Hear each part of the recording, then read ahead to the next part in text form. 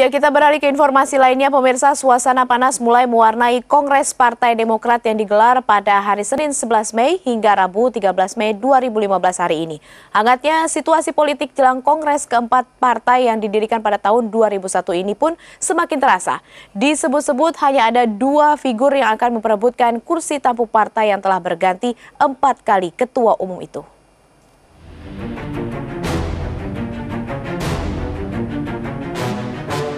Dua tahun silam, tepatnya Maret 2013, secara aklamasi SBY terpilih sebagai Ketua Umum Partai Demokrat dalam Forum Kongres Luar Biasa di Denpasar, Bali.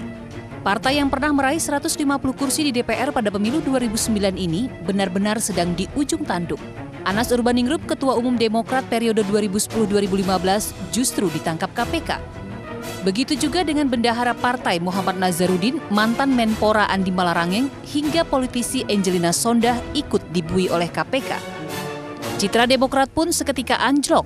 Perolehan suara pada pemilu 2014 menurun drastis.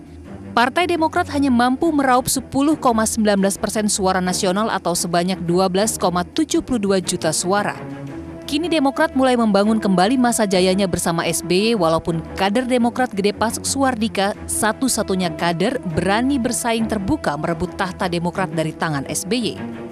Nah untuk meraih kembali suara itu, para kader memiliki prinsip bahwa hanya dengan kepemimpinan Pak SBY, insya Allah suara itu akan kembali.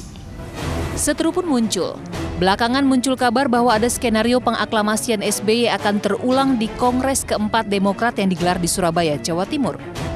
Kongres Partai Demokrat akan masih memosisikan SBY sebagai center of the game. Jadi ini uh, strategi yang menurut saya uh, lebih me mementingkan semacam pragmatisme uh, kekuasaan uh, personal Hal ini tentu saja ditentang oleh ratusan kader partai yang mendeklarasikan kaukus penyelamat Partai Demokrat yang menolak Partai Demokrat menjadi partai keluarga.